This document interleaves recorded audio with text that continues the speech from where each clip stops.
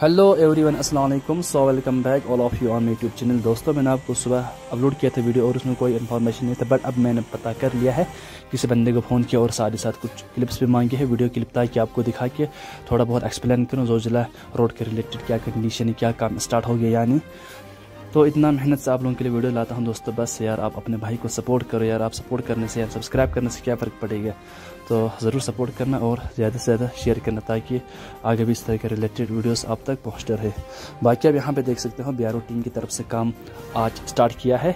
यानी बालतल साइड से भी। वैसे भी आपको पता है, मीना मार्ग साइड से तो पहले ही तीन दिन पहले काम चल रहा था और यहाँ पर देख सकते हो कैसे एवलांच हटा रहा है, क्योंकि बहुत ही ज़्यादा इस साल एवलांच आया है जगहों जगहों पर तो इस वजह से समय थोड़ा लग सकता है बट जैसा कि रंगा मोड़ पर ठहरा हुआ था बी टीम के वर्कर्स और मशीनरीज वहीं पे रुके हुए थे बट वहाँ से ढाई किलोमीटर की दूरी जा चुका है, यानी आगे की ओर। तो इस तरह से अगर ऐसे काम कंटिन्यू रहा और मौसम ने साथ दिया तो दोस्तों, जल्दी ये रोड कनेक्ट होगा। बाकी किसी महीने कमेंट किया थे कब तक खोलने के चांसेस है।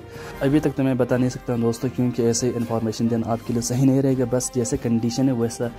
उसी हिसाब से मैं आपको अपडेट देगा। बस यार आप रेगुलर वीडियोज़ देखना और यार प्लीज़ शेयर ज़रूर करना ताकि आपको आगे भी वीडियोस पहुँचते रहे और आप यहाँ पे देख सकते हो।